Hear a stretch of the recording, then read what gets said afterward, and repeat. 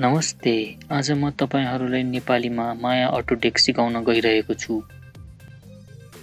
Top left hand साइडको ट्याबमा सातवटा सेपहरू छन् होइन? तीमध्ये कुनै एउटा लिउँ यो सेपहरूको साइज चेन्ज गर्नुपर्दा राइट ह्यान्ड साइडको ट्याबमा गएर म्यानुअली नम्बर टाइप गरेर गर्न सकिन्छ। अथवा माउसबाट लेफ्ट ह्यान्ड साइडको टुलबारमा गएर पनि गर्न सकिन्छ।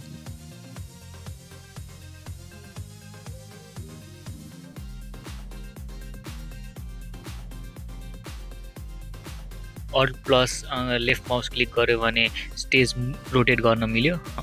अल्ट प्लस स्क्रोल गऱ्यो भने चाहिँ स्टेज मुभ गर्न मिल्यो। Alt plus right mouse click गऱ्यो भने जुम इन जुम आउट हुने भयो। अब scale up and scale down गर्नलाई चाहिँ राइट ह्यान्ड साइडको एट्रिब्युट ट्याबमा गएर सेप वान ट्याबभित्र गएर manually scale up scale down गर्न सकिन्छ। अथवा लेफ्ट ह्यान्ड साइडको एरो टुल बार्सहरूबाट पनि scale up scale down transformation rotation गर्न सकिन्छ। अब यो सिम्पल थ्री क्युब क्युब सेपलाई कम्प्लेक्स सेपमा लैजानको लागि यो राइट ह्यान्ड साइडको मोडलिङ ट्याबमा गएर कम्पोनेन्ट्सहरू युज गरेर सेप चेन्ज गर्न सकिन्छ। अब नेक्स्ट भिडियोमा हामी पोजिसन र सेप मोडिफाई गर्छौँ।